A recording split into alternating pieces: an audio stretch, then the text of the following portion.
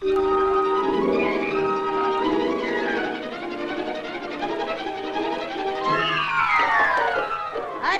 знать все. Но все же мы не привыкли отступать. Нам расколоть его поможет киножурнал «Хочу все знать».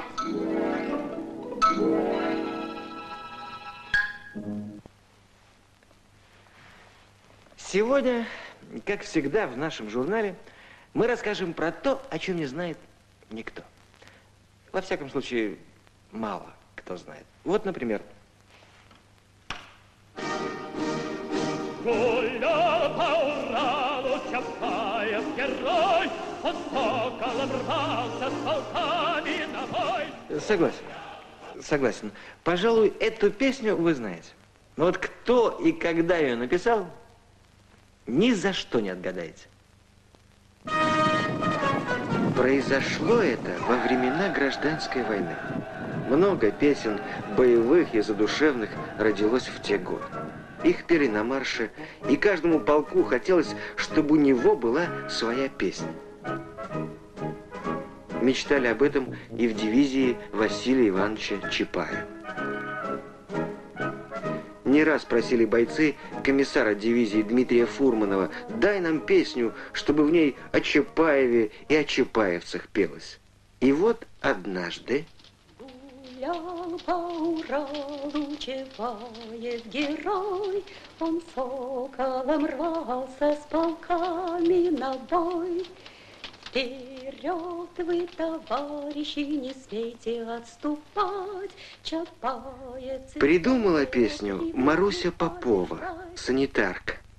Когда спустя годы по роману Фурманова был снят знаменитый фильм «Чапаев», в его героине, Анке-пулеметчице, многие узнали Марусю. Да-да, ведь в жизни все это было именно с ней. Это Маруся заменила у пулемета раненого бойца, и сам Чапаев объявил ей потом благодарность.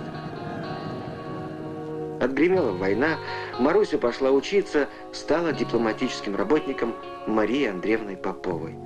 А сочиненную ею песню долго считали народной.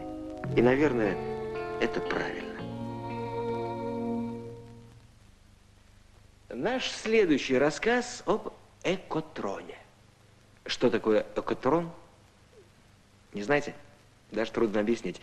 Он похож на аквариум.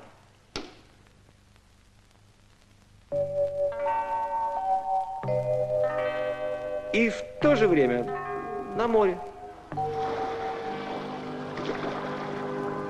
Море меняется каждый день. И во многих его переменах повинен человек.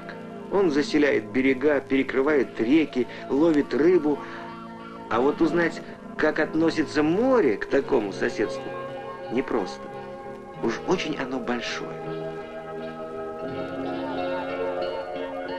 Ученые создали модель моря и назвали ее экотрон. В экотроне морская жизнь разделена на части. Примерно вот так. Водоросли. Они насыщают воду кислородом и, кроме того, служат кормом мелким морским животным. А те, в свою очередь, попадают на обед крупным хищникам. Остатки рыбьих пиршеств опускаются на дно и достаются донным червям. Да разве только им одним? Там же, у дна, постоянно трудятся мириады бактерий.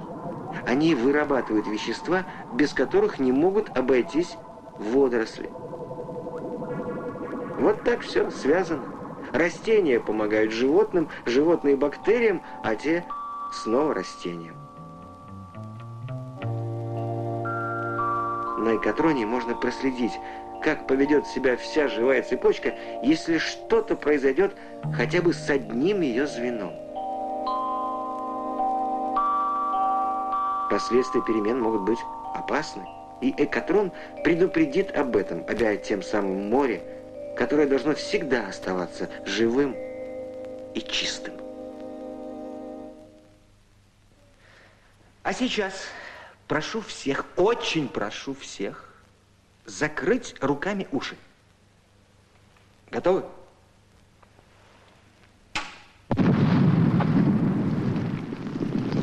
Здорово рвануло, а? Ничего.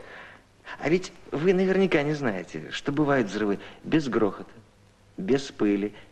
Не верите? Тогда я приглашаю вас в Египет.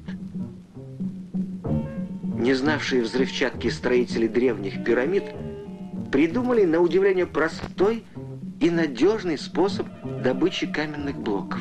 Они выдалбливали в камне дырки и забивали туда деревянные клинья. От воды клинья разбухали и разрывали камень. Удивительно, правда? Многотонные глыбы откалывали деревяшками. Современные ученые вспомнили про этот способ и придумали необыкновенный порошок.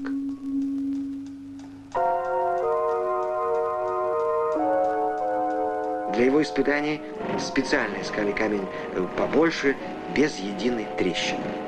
В нем тоже просверлили отверстие, и теперь оставалось ждать, что же будет, когда раствор порошка подсохнет. Видите? Глыба трескается. Крохотные частицы порошка разбухли и разорвали камень, без осколков, без грохота, не повреждая ничего вокруг. Как хорошо, что человечество не забывает своих открытий, даже если им четыре тысячелетия.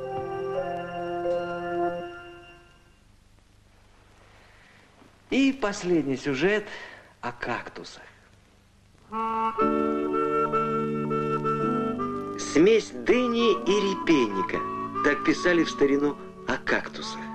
Хотя какая же это дынь? Кактусы, жители американского континента, бывают великанами и карликами, круглыми и плоскими. За последние 400 лет они расселились по всему миру и прочно заняли свое место рядом с человеком. Кактусов известно великое множество, больше трех тысяч видов, и из них давно уже составляют настоящие коллекции. Раз есть коллекция, значит, в ней должны быть и особо ценные экземпляры.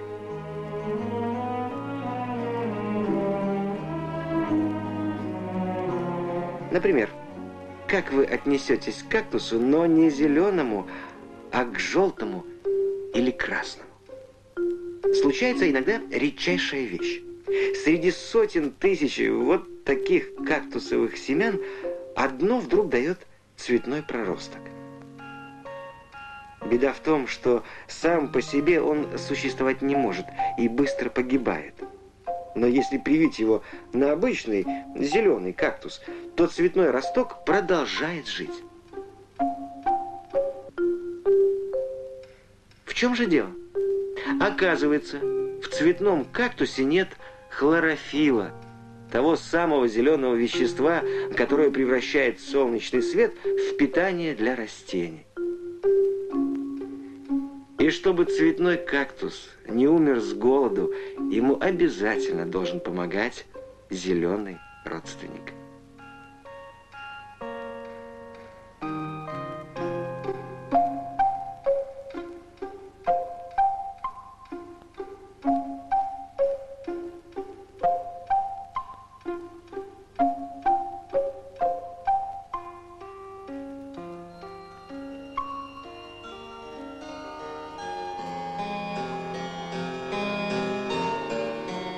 Только так разноцветные кактусы могут расти, цвести и радовать глаз своей необычной красотой. Конечно, знают дети, еще не все на свете, и это очень грустно, приходится признать. Но было бы, но было бы желание, придут к тебе, придут тебе и знания, за это вам ручается. Журнал «Хочу все знать»